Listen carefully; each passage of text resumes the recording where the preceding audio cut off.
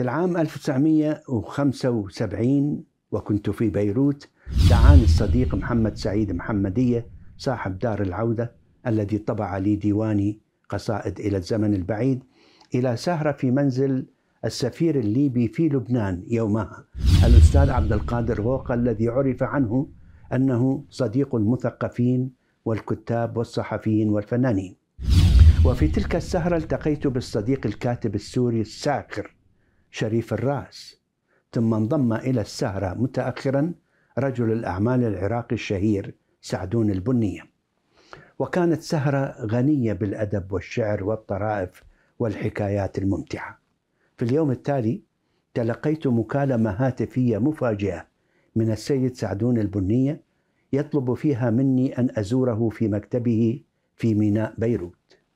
وفي اللقاء قال عرضت علي شركة مسيوبيشي اليابانية وكالة عامة للشرق الأوسط لتسويق أجهزتها الجديدة للفيديو كاسيت وأشرطة الفيديو كاسيت. وقال لأنك أكثر خبرة مني في مسائل الفيديو فأنا أعرض عليك أن أقبل الوكالة العامة وأتولى أنا تمويلها وتقوم أنت بجهود تسويقها مقابل نصف الأرباح. طبعا في العام 1975 لم يكن أحد قد عرف أجهزة الفيديو كاسيت فاعتذرت وقلت له إن تسويق هذه الأجهزة وأشرطتها يحتاج إلى كثير من الجهد المضني الذي قد يستغرق عاما أو عامين وهذا يعني أن أتوقف عن الإنتاج الفني وأضحي بأرباحه المجزية على أمل أن يتعرف الناس على الفيديو بعد عمر طويل.